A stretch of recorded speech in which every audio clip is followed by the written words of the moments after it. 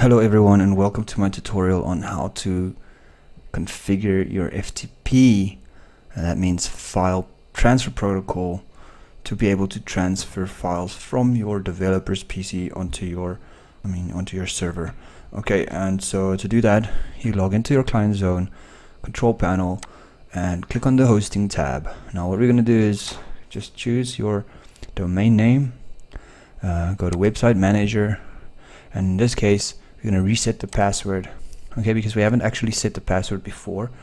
Um, so all we got to do is reset it and then it's going to give us a new password. And we're going to take this password. We're just going to copy it as it is and there you can see also is the username.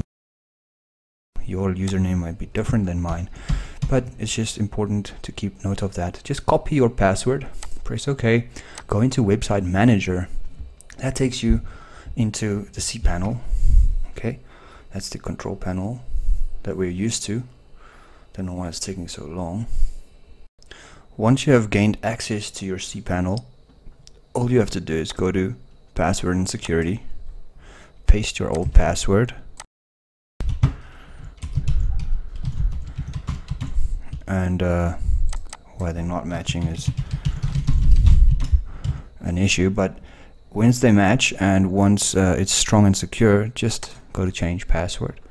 This will redirect you in which case you have to enter a new password. Well I've already entered mine. So there you go.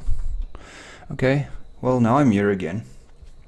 And um, what I can do now is I can actually uh, open this program called FileZilla. You can use either Core FTP or FileZilla.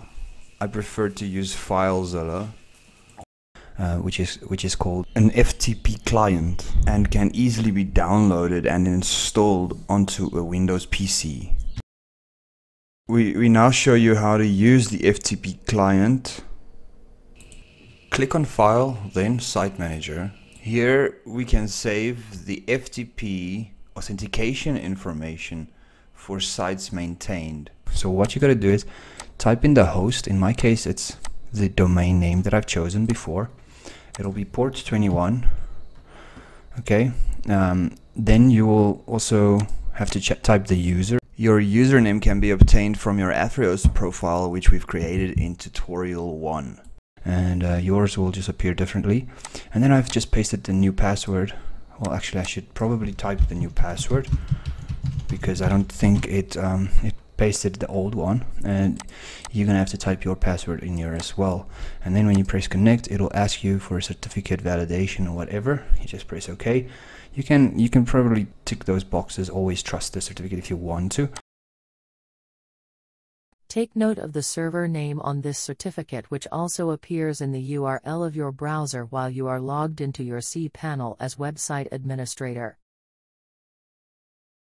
This should now, once I've connected, show you a bunch of files. These files are the same files and a couple of uh, hidden files that you would find on your ordinary cPanel. Just take note of this public underscore HTML file, which is the one where we uh, dump all our website content. So I'm just going to double click that, open it and show you that this is the same index file which we previously edited. I'm just going to edit it again. It's going to open it in my um, my code editor of choice and there you have a little echo hello world that is the same file that we edited in the C panel during tutorial 1 previous lesson so all you got to do now is once you are ready to transfer your files from an, an already existing folder in this case I'm going to just pick this last project I've been working on.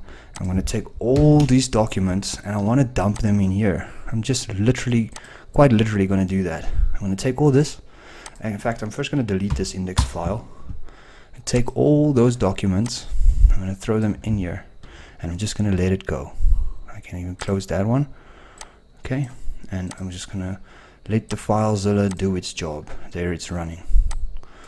It might take quite a while depending on how big your website files are.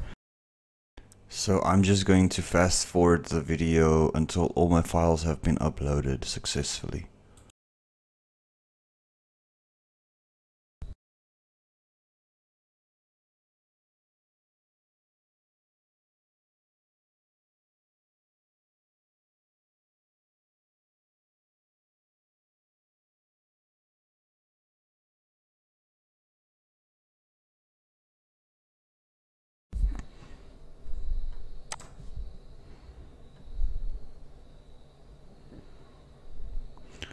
Okay, once the files have finished transferring, if you reload the browser, it should now show your new website. There you have your new website.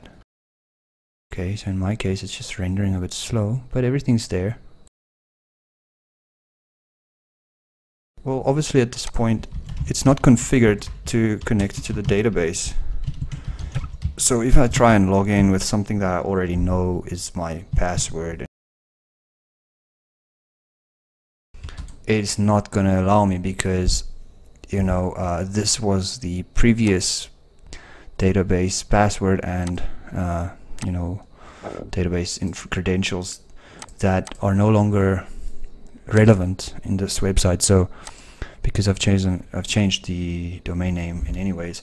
So I have to go and configure all of that, which I'll show you in the next list.